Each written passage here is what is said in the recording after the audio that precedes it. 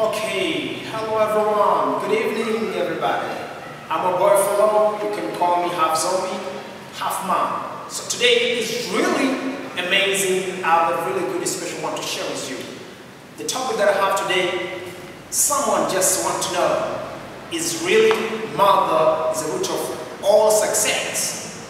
For myself, just going to answer this kind of little question that I got one of my fans. I just I want to share with you today. Make sure that you subscribe my channel, share, like and comment, whatever you want. Now let's us jump right in. And back once again, my dear friend, as you know, mama is all about. Because always we say mother is all about. Because I just want to talk about the mother. Because as you know, mother the one who carried you for nine months in her womb.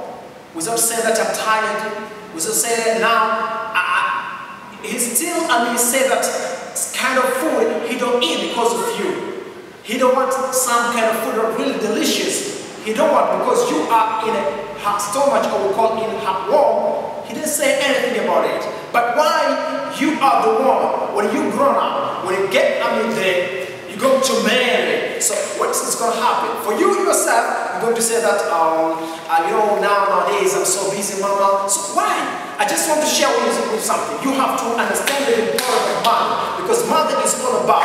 If you don't share what you got for your mother, so still you are, really, you don't have something to say. Because a lot of us, men, we, when we are men, we forget about our, about our mom. I don't know why we do like that. Mama is all about. Mother is a uh, passport of all success. So if you delay, you don't respect your mother, you have nothing more. I just want to share with you youth, a lot of youth nowadays, when we enter the marriage, we forget about mom. Why? So you have to remember that you forget your mother. Just did a lot of things for you to cook, I mean delicious food, delicious food, I mean to, uh, to, uh, to wash your clothes and send you hospital in several times.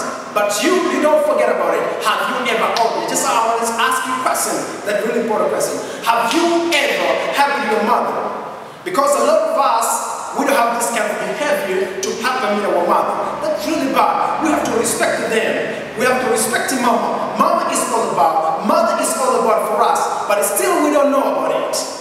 That's why nowadays when we get the achievement, it's destroyed easily. Something is gone easily because we don't have respect them. We don't help them. I just want to give an example because when you look some families, they didn't uh, or they aren't blessed to get I mean a baby girl. So you can see boys just staying at home without doing anything. They don't have any kind of job, but they don't want to help their mothers just to wash dishes, to clothe me their clothes, to just uh, uh, cooking, every cooking, or sweeping. They don't do that. Just staying, they see the mom, they're doing a lot of work. I just want to tell you, don't think that woman is a, is a, I mean, servant of house doing all domestic work.